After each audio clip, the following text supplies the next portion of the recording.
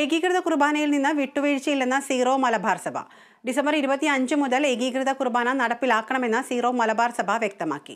എറണാകുളം അങ്കമാലി അതിരൂപതയിലും ഇത് നടപ്പിലാക്കണം. മാർപ്പാപ്പയെ തെറ്റിദ്ധരിപ്പിച്ചു എന്ന രീതിയിൽ വിമത വിഭാഗം നടത്തുന്ന പ്രചാരണത്തെ തുടർന്നാണ് പ്രസ്താവനയുമായി സഭ രംഗത്തെത്തിയത്. പോപ്പിന്റെ നിർദ്ദേശം പാലിക്കാൻ എല്ലാവർക്കും ബാധ്യതയുണ്ടെന്നും പോപ്പിനെ തെറ്റിദ്ധരിപ്പിച്ചു എന്ന പ്രചാരണം അനുസരണക്കേടാണെന്നും സഭ വ്യക്തമാക്കി. പോപ്പിനെ അംഗീകരിക്കുന്നവർ തീരുമാനം നടപ്പിലാക്കാൻ ബാധ്യസ്ഥരാണെന്നും സഭ വാർത്താക്കുറിപ്പിൽ അറിയിച്ചു.